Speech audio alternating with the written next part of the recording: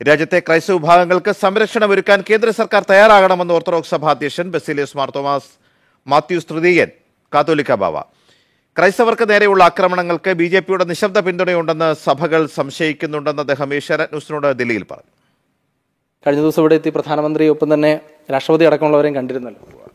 എങ്ങനെയായിരുന്നു സന്ദർശനത്തിൽ എന്തെങ്കിലും രാഷ്ട്രീയ പ്രധാനം സഭയുടെ എല്ലാ പ്രവർത്തനങ്ങളിലും രാഷ്ട്രപതിയും അതുപോലെ തന്നെ പ്രധാനമന്ത്രിയും സന്തുഷ്ടി രേഖപ്പെടുത്തി രാഷ്ട്രീയപരമായി ഒരു കാര്യവും സംസാരിച്ചില്ല. കേരളത്തിൽ ക്രൈസ്തവ വിഭാഗങ്ങളുമായി കുറെ കൂടി അടുക്കാനുള്ള ശ്രമം ബി ജെ പി നടത്തുന്നുണ്ട്. അപ്പോൾ അതിനെ എങ്ങനെയാണ് ഈ ഒരു ഘട്ടത്തിൽ കാണുന്നത്? ബി ജെ പിയുടെ നയങ്ങളും സമീപനങ്ങളും എന്താണ് എന്ന് നമുക്ക് ഇതുവരെയും വ്യക്തമായിട്ടില്ല. ബി ജെ പി ഒരു ഭാഗത്ത് ക്രിസ്തീയ സഭകളുടെ പല പള്ളികളുമൊക്കെ ആക്രമിക്കുന്നതായിട്ടും നശിപ്പിക്കുന്നതായിട്ടുമൊക്കെ നമുക്ക് റിപ്പോർട്ടുകളുണ്ട്.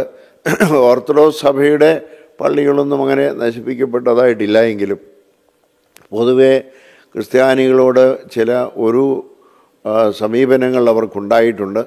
അത് ഒറ്റപ്പെട്ട സംഭവങ്ങളാണ് തീവ്രവാദ സംഘടനകളാണ് നടത്തുന്നതെങ്കിലും ബി ജെ പി ഗവൺമെന്റ് അതിനെ അപലപിച്ചതായിട്ട് കാണുന്നില്ല.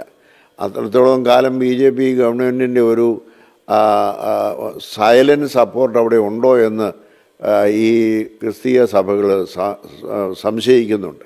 അതുകൊണ്ട് തന്നെ ബി ജെ പി ഗവൺമെന്റിന്റെ ആ ഒരു നയപ്രീണ നയം ഒരു പക്ഷെങ്കിൽ അത് സംശയദൃഷ്ടിയോടെ ക്രിസ്ത്യാനികൾ വീക്ഷിക്കുന്നു എന്നുള്ളത് ക്രിസ്ത്യാനികളെ തെറ്റു പറയാൻ കഴിയും എന്ന് ഞാൻ വിചാരിക്കുന്നില്ല.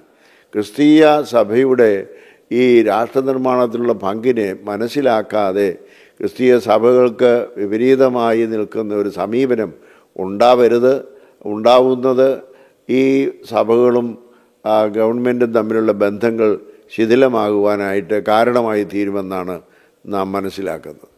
പള്ളികൾക്ക് നേരെ ആക്രമണം നടക്കുന്നു അല്ലെങ്കിൽ പുരോഹിതർക്ക് നേരെ കേസുകൾ എടുക്കുന്ന ഒരു സാഹചര്യത്തിൽ ഈ കേന്ദ്ര സർക്കാരിന്റെ ഭാഗത്തുനിന്ന് ഒരു സംരക്ഷണം ആ, വേണമെന്നൊരു ആവശ്യം പലതലത്തിൽ നിന്നുണ്ടാകുന്നുണ്ട് അത്തരത്തിൽ ഏതെങ്കിലും ഒരു അഭ്യർത്ഥന നടത്തുന്നുണ്ടോ സഭയിൽ? അല്ലെങ്കിൽ ചർച്ചകൾ ഏതെങ്കിലും രീതിയിൽ നടക്കുന്നുണ്ടോ?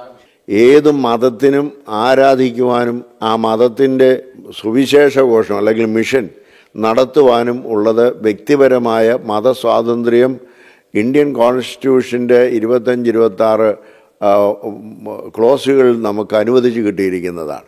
അപ്പോൾ അതിന് ആരുടെയും സപ്പോർട്ട് ആവശ്യമില്ല. ആ റൈറ്റിന് വിപരീതമായി ആര് പ്രവർത്തിച്ചാലും അതിനെതിരെ നിശ്ചയമായിട്ടും പ്രതികരിക്കും. ഏതെങ്കിലും തരത്തിലുള്ള നിർബന്ധിതമായിരിക്കുന്ന മതപരിവർത്തനം നടത്തുന്നുണ്ടെങ്കിൽ അത് ആർക്കും ചോദ്യം ചെയ്യാവുന്നതാണ്. പള്ളികളെ സംബന്ധിച്ചുള്ള തർക്കമൊക്കെ നിലനിൽക്കുന്ന സാഹചര്യത്തിൽ പുതിയ നിയമം കൊണ്ടുവരുന്ന നടപടികളെല്ലാം മുന്നോട്ട് പോവുകയാണ്. അതിനെക്കുറിച്ച് എന്താണ് ഭരണഘടനയ്ക്കും കോടതി വിധിക്കും യുക്തമല്ലാത്ത രീതിയിലുള്ള നിയമനിർമ്മാണം ഉണ്ടാകുന്നതിൽ സഭയ്ക്കുള്ള ആശങ്ക ഭരണ നേതൃത്വത്തെ അറിയിച്ചിട്ടുണ്ട്. ദീപിനൊപ്പം റോബിൻ മാത്യു മറ്റത്തിൽ ഏഷ്യാനെറ്റ് ന്യൂസ്.